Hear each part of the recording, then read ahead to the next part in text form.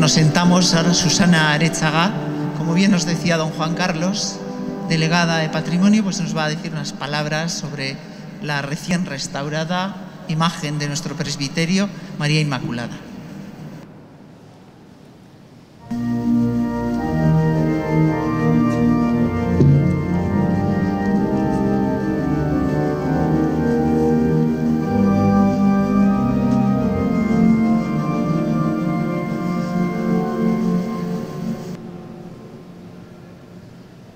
Muy buenos días. Voy a comentar muy brevemente la recuperación para el culto, para la devoción de la imagen titular de este templo en el que nos encontramos. La talla de madera policromada que está junto al altar y que, bueno, procede de la desaparecida ya población de Ribera de Valderejo, estuvo en su parroquia, en la parroquia de San Esteban de Ribera de Valderejo, y al iniciarse casi hace un año pues este jubileo mariano, esta talla que se ubicaba al fondo del presbiterio sobre la zona de la sillería coral la trasladamos a este lugar que hoy pues, pues todos ven pero al bajarla mm, nos dimos cuenta, yo nunca la había visto de cerca, que tenía muchísimos deterioros, tenía muchos desprendimientos de pintura, estaba en bastante mal estado. Por su importancia eh, de este templo y también por su gran yo diría, gran valor histórico-artístico, decidimos mm, bueno, llevar el tema a la comisión mixta. La comisión mixta se compone por la Diputación Foral de Álava y el Obispado de Vitoria para la protección, conservación de lo más granado de nuestro patrimonio histórico-artístico y se aprobó la intervención. Se ha restaurado mm, este año, concretamente, se llevó al servicio de restauración de la Diputación Foral de Álava a finales de, la primavera y hace mm, pocas semanas ya se trasladó al presbiterio y se colocó en este lugar. Desde el Servicio de Restauración de la Diputación Foral de Álava se ha llevado a cabo el control de la intervención, como se hace siempre en estas obras, que se recuperan gracias a la financiación por comisión mixta partes iguales de la Diputación Foral de Álava y el Obispado de Vitoria. Pero concretamente la obra se adjudicó a una restauradora que ya había venido colaborando e interviniendo en obras sacras que se llama Carolina García Maudes. Este año también estamos celebrando los 20 años del Museo Diocesano de Arte Sacro. Y esta restauradora pues es a la que le pedimos por tal motivo pues la revisión y limpieza de todas las obras del, del museo. Pues bien, hemos recuperado esta imagen, la hemos vuelto a colocar aquí, se va a quedar aquí en este punto, mucho más cerca de todos los fieles y es una talla, como todos saben, que representa a la Inmaculada Concepción. El dogma de la Inmaculada Concepción eh, bueno, se aprobó en el año 1854. Era el pontificado del Papa Pío IX, precisamente el mismo Papa que otorgó la bula de creación de la diócesis de Vitoria, unos pocos años después, en el año 1861. Y bueno, esta advocación de la Inmaculada Concepción, eh, que bueno, en el siglo XIX, 1854, ya mm, bueno, pues está eh, reconocida, sin embargo, es muy antigua y es antigua en toda la vieja Europa y en el mundo especialmente hispánico. Después, después del descubrimiento de América, se extiende hacia allí esta devoción, pero también muy antigua en nuestra ciudad. Por eso no es extraño que la nueva catedral se acogiese a la protección y fuera su primera vocación la de la Inmaculada Concepción.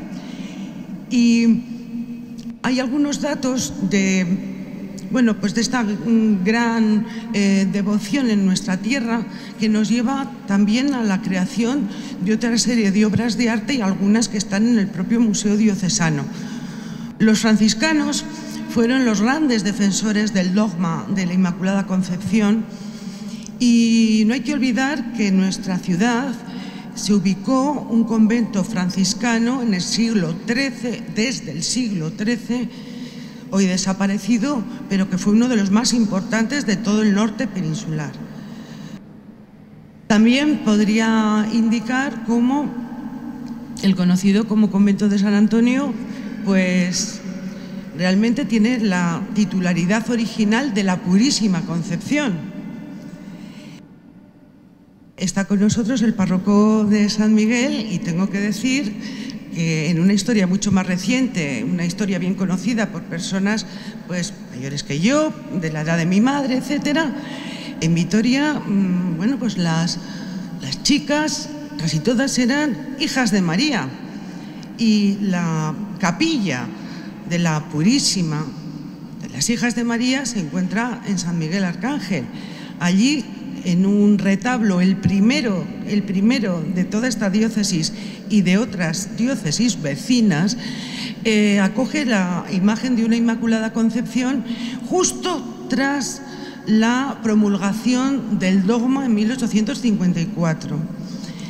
Bien, pero en relación con la talla mm, recién restaurada, tengo que decir que ilustres franciscanos alaveses como por ejemplo don Pedro de Urbina y Montoya, nacido en Verante Villa, defendieron el dogma eh, desde bueno, pues el siglo XVII, en plena época barroca a la que corresponde esta imagen, y este hombre que acabo de mencionar, que ocupó importantísimos cargos como obispo de Valencia, arzobispo de Sevilla, fue el embajador extraordinario ante el Papa Alejandro VII para defensa del dogma en esos momentos.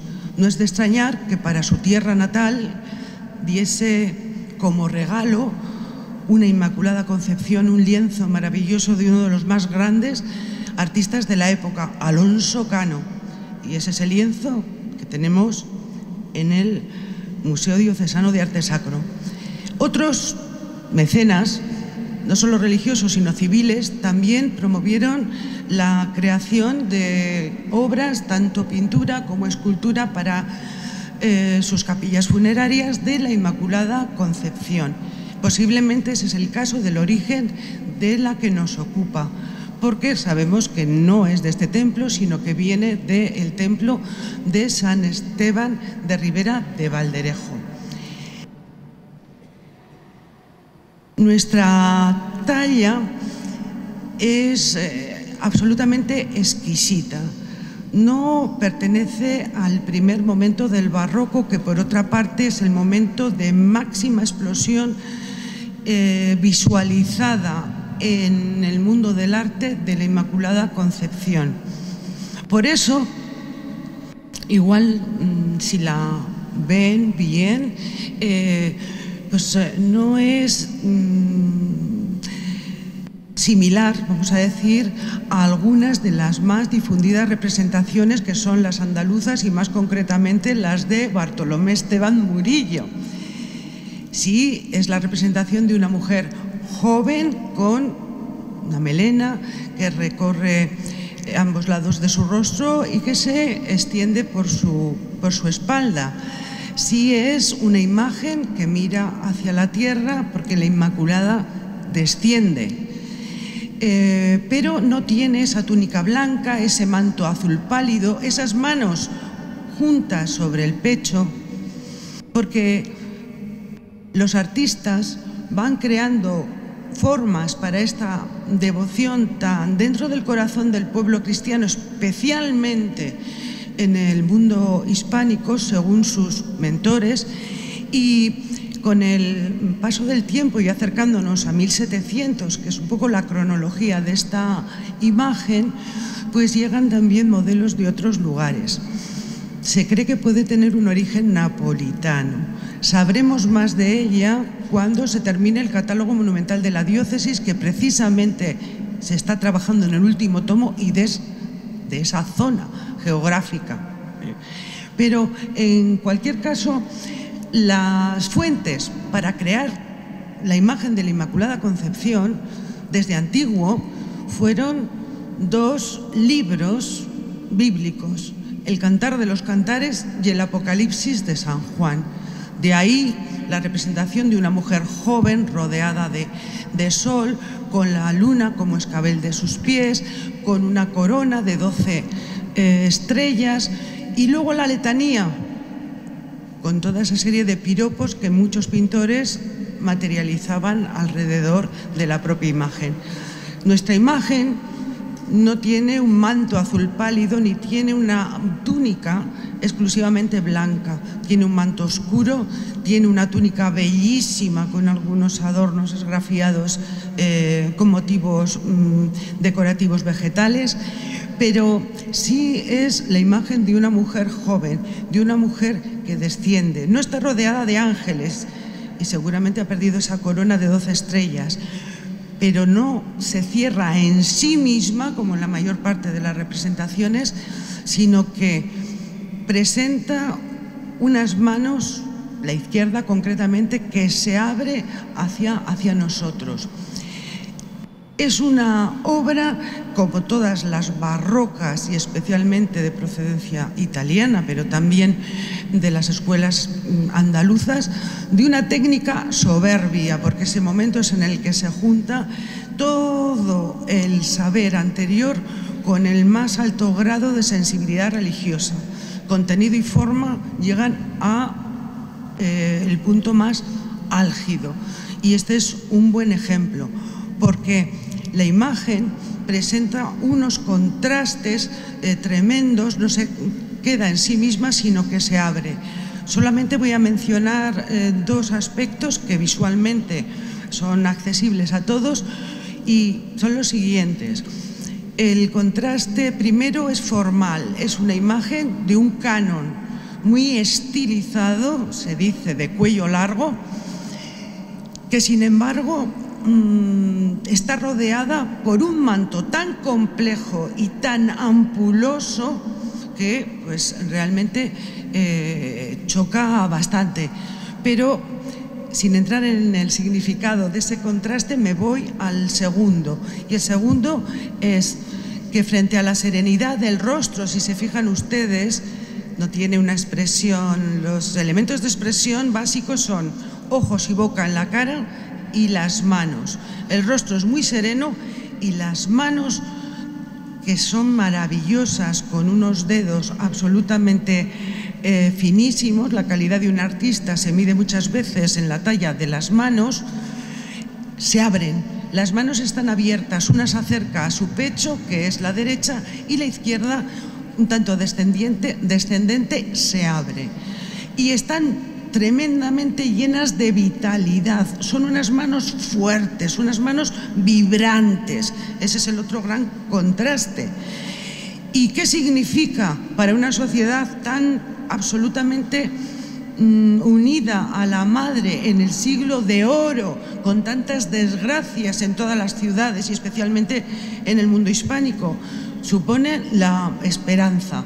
El rostro está sereno porque está seguro, por la fe. Pero esa fe no se queda dentro de ella, es madre y se abre. Y se abre con unas manos que presentan tanta seguridad y tanta fuerza que es difícil resistirse a acercarse a ellas. De alguna manera, esa es la singularidad de la imagen y de esa imagen concretamente de la Inmaculada Concepción, porque estamos acostumbrados y hasta a través de estampitas ya de época contemporánea, esas imágenes más dulces, más cerradas, pues de un murillo.